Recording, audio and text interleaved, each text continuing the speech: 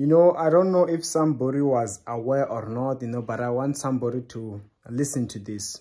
There is a thing called harvest time.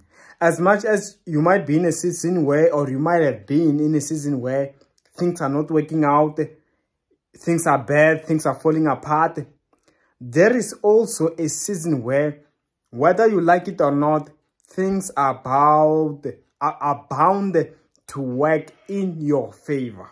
Hallelujah. And I feel like I believe that there is this season, this is our first time for somebody. So this, I'm giving you a task that search in your heart, go before the Lord. If you can feel that you feel like it's your season, then receive it in faith, okay? Take it by faith in Jesus' mighty name. And I pray that indeed you see the manifestations, you, indeed you harvest in this season of yours in Jesus' mighty name. Amen. And of course, that's all I had. Bye.